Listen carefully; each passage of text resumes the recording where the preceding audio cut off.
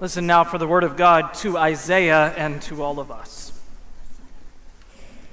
Shout out. Do not hold back. Lift up your voice like a trumpet. Announce to my people their rebellion, to the house of Jacob their sins. Yet day after day they seek me and delight to know my ways, as if they were a nation that practiced righteousness and did not forsake the ordinance of their God. They ask of me righteous judgments. They delight to draw near to God. They say, Why do we fast, but you do not see? Why do we humble ourselves, but you do not notice? Look, you serve your own interest on your fast days and oppress all your workers. Look, you fast only to quarrel and to fight and to strike with a wicked fist. Such fasting as you do today will not make your voice heard on high. Is such the fast that I choose? A day to humble oneself? Is it to bow down, to lie down in sackcloth and ashes? Will you call this a fast, a day acceptable to the Lord? Is not this the fast that I choose? To loose the bonds of injustice to undo the thongs of the yoke, to let the oppressed go free, and to break every yoke? Is it not to share your bread with the hungry, and bring the homeless poor into your house, when you see the naked to cover them, and not to hide yourself from your own kin?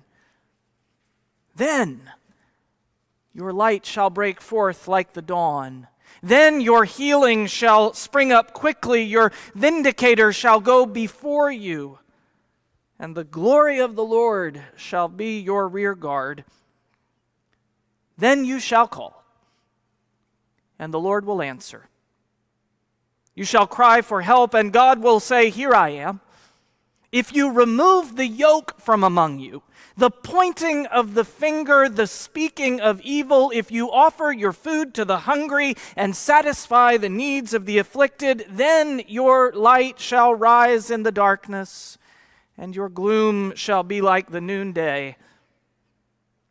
The Lord will guide you continually and satisfy your needs in parched places and make your bones strong. You shall be like a watered garden, like a spring whose waters never fail. Your ancient ruins shall be rebuilt you shall raise up the foundations of many generations. You shall be called repairer of the breach, restorer of streets to live in. This is the word of the Lord.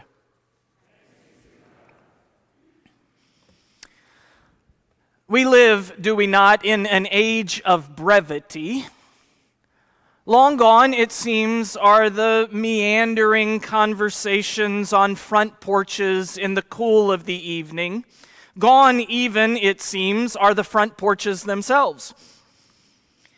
In the marketing world, advertisers use fast paced images and only a few choice words to promote products in a, in a matter of the seconds available to them before you are allowed to skip the ad by clicking a button. In the political sphere, we, we rely increasingly on soundbite news clips to form opinions and influence outcomes. Even in our interpersonal and social relationships, loquacious verbosity, that's a lot of words, has been upended by the character limits of Twitter and text messaging. Do you ever look at your voicemail and, and see that the message is, I don't know, three or four minutes long, and then find yourself scrolling to the end of the message, hoping to get to the important parts, or maybe listening to it on double speed to get there more quickly? I'm guilty of that. In this age of brevity, persistent messages from a variety of seemingly endless sources compete for one prized second of our shrinking attention spans. Only the most creative and memorable, or shocking and disturbing, tend to break through. The challenge we all face as the pace quickens and attention spans contract is sifting through the babble, prioritizing the voices, weighing the options, and distinguishing between truth and falsehood, between meaningful speech and mindless prattle. This, it seems to me, is, is one good reason to come to worship on a weekly basis. To clear our hearts and minds of the junk messages that clutter them, and focus instead on the words that inspire. Words like hope and grace and love. I am convinced that if words ever mattered at all, then they matter more now than ever in the age of brevity. Perhaps you've heard of the public relations and advertising technique tailor made for this age of brevity known as the elevator speech. In a column for Business Week titled The Perfect Elevator Speech, Aileen Pincus writes that an elevator speech should, quote, sum up unique aspects of your product or service in a way that excites others, and as the name suggests, that speech ought to be brief enough to share in the time it takes for an elevator to move from one floor to the next. A matter of seconds. Oh, we do live in the age of brevity. The more personal version of the elevator speech is what the author and speaker Simon Sinek describes as a why statement. He explains that the why is about your unique contribution to impact and serve others. The, the why is what inspires you. In short, your why is your purpose. It, it provides a, a clear, succinct answer to the question why do I get out of bed in the morning? He concludes that strong why statements are key to long lasting success and viability. As a congregation, we've been spending some time in recent months discussing the, the unique aspects of who we are and what we're called to be and do. You might say that we've been asking the question why does Second Presbyterian Church get out of bed in the morning? Now, our identity statement has the, the qualities of an effective elevator speech and a persuasive why statement. We exist to be, say it with me, a, a welcoming community of faith where Jesus Christ transforms lives. Now, there's a lot of meaning packed in those few words. They provide enough why to keep us going for a long time. I think it's a helpful exercise, a, a, revealing exercise for all of us to ponder our why. Most of us spend a lot of time focused on what we do and how we do it. But why questions often seem too time consuming or laborious for us to take on, and so we assume that we understand why we do what we do. But engaging in this exercise of pondering will help us clarify our vocation.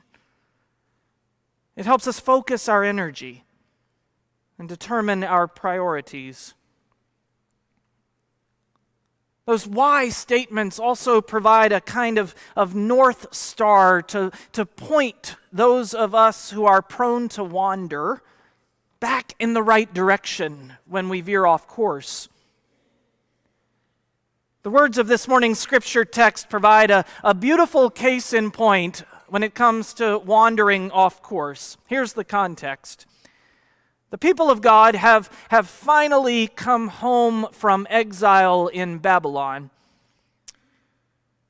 They return to Judah and they reestablish their way of life. And, and for a time, they remember. They honor the God who has brought them out of Babylon with a mighty hand and an outstretched arm. They are clear about their why. And they live out of that clear, clarity and, and that conviction.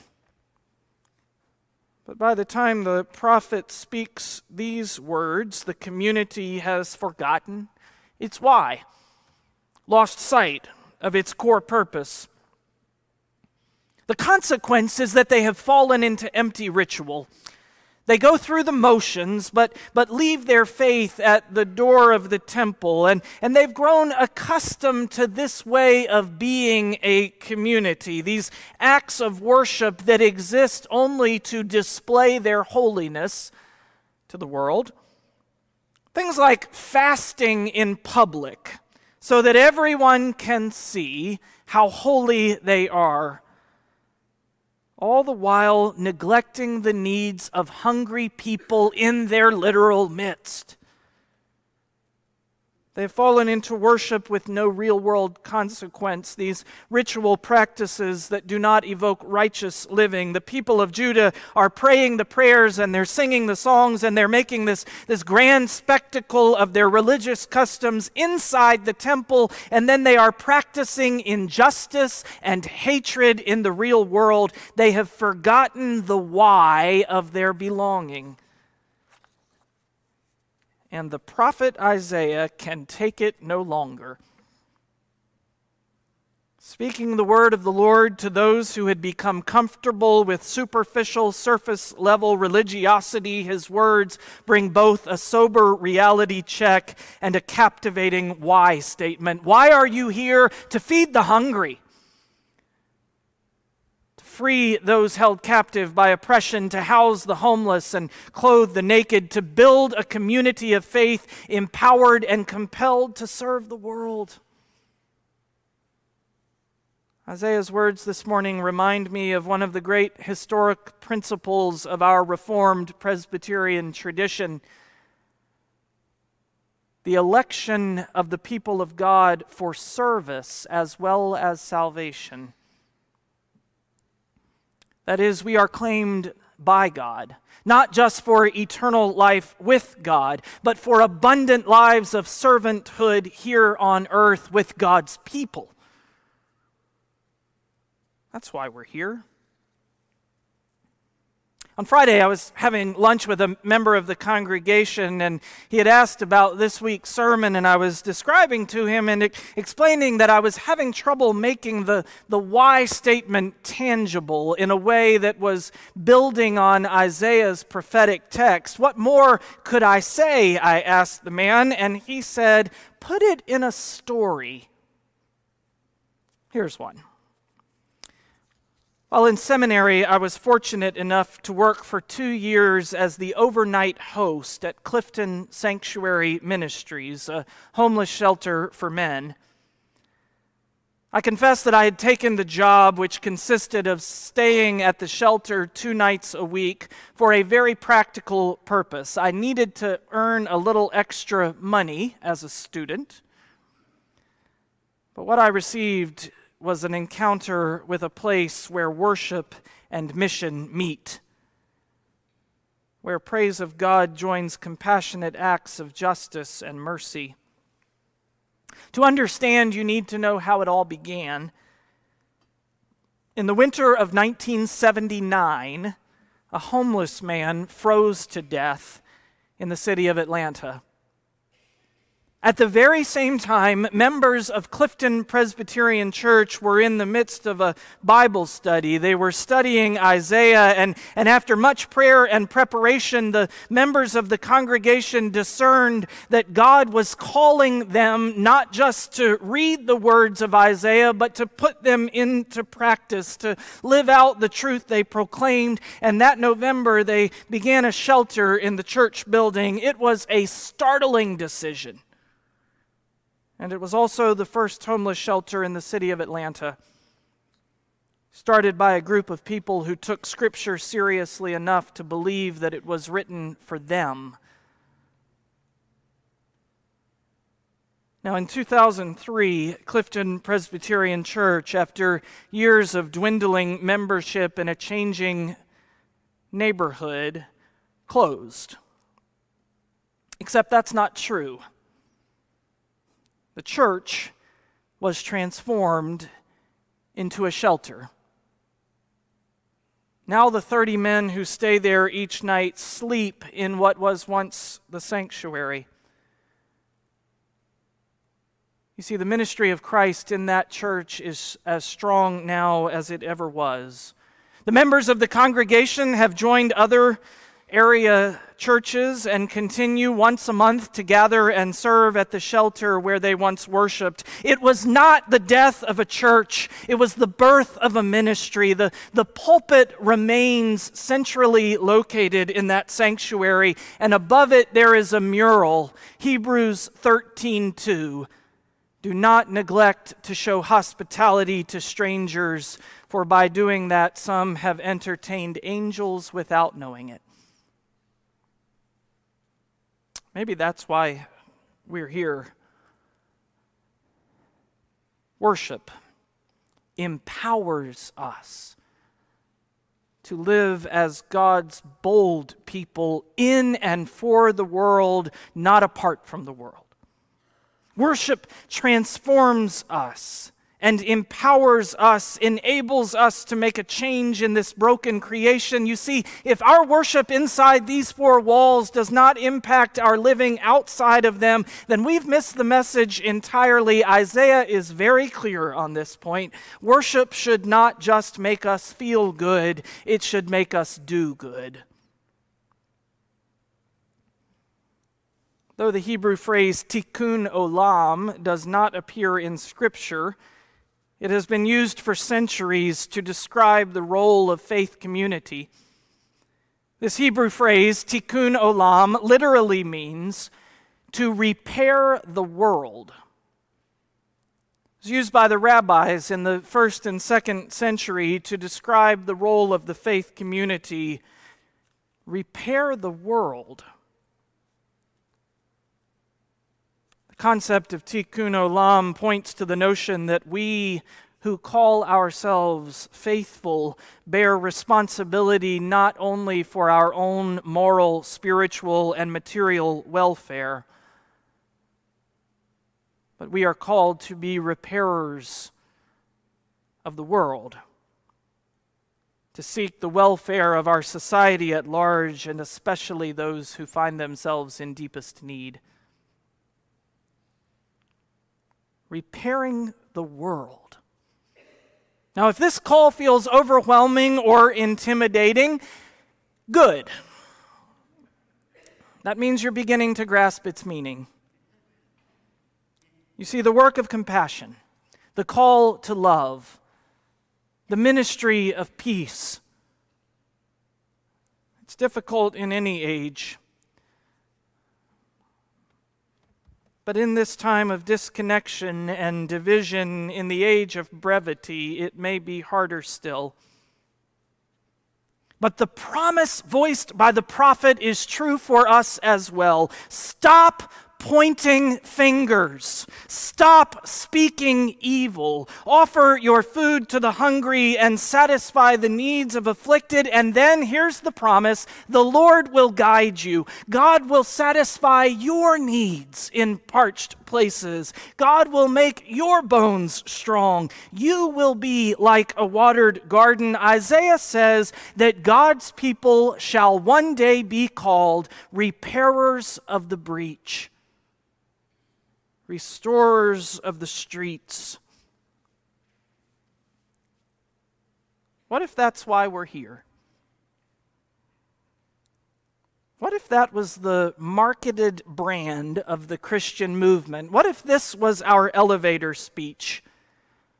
We are followers of Jesus Christ. We repair what is broken. We restore the communities that have been ripped apart. Here's the thing you're already doing it in, in subtle and unheralded ways. I hear about it all the time. People finding those tears in the fabric of community and sewing them back together one stitch at a time. Restoring what has been destroyed one conversation at a time, one simple act of kindness at a time, to be a witness to the work of God's people repairing what is broken among us is perhaps the greatest gift of ministry.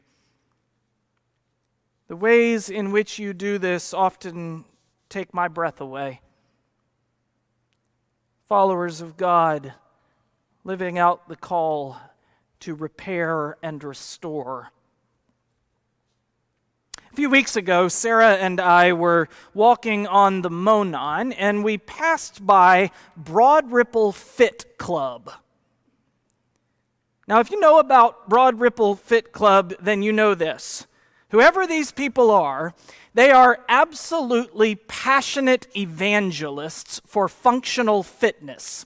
Spend a little time on their website and you will learn just how passionate they are. Testimony after testimony from those who use the Broad Ripple Fit Club. This is not a commercial for the Broad Ripple Fit Club, but what I want you to know is that outside their gym and strategically placed right there on the Monon, there is a banner. And that banner reads, we're looking for 15 people who want to change their lives. As we walked by, Sarah pointed at the banner and turned to me and she said, Chris, we ought to have a sign like that outside of Second Presbyterian Church. We're looking for people who want to change their lives who want to change their community, who want to change the world. Second Presbyterian Church, we are here for the transformation, to be changed and to make change in God's broken, beautiful world. Try it out. Here at Second Presbyterian Church, we're looking for people who passionately believe that the love of God we know in Jesus Christ has transformed the world already and that it can again. We're looking for people who want to worship God and get to work. We're looking for people who look at the world and see not only what is broken, but, but lying before us the tools necessary to repair the breach. We are looking for people who lift voices and move feet and find purpose together. And here, my friends, is the gift. If we do that, we will be transformed. Our church will grow deep and wide. Our lives will find meaning and purpose. Our community will be enriched. We will be changed as we join God's redemptive work. Our worship will be bolder, truer to the prophet's vision, and then our worship will do something to us and through us to the world beyond. The prophet Isaiah had a banner of his own.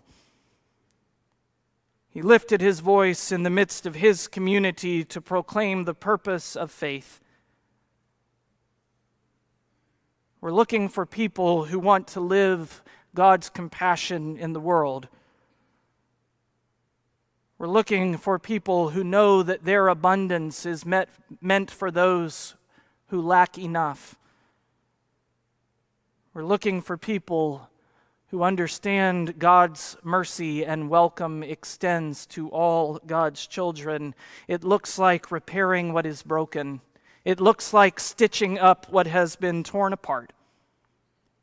My brothers and sisters, that's why we're here. Amen.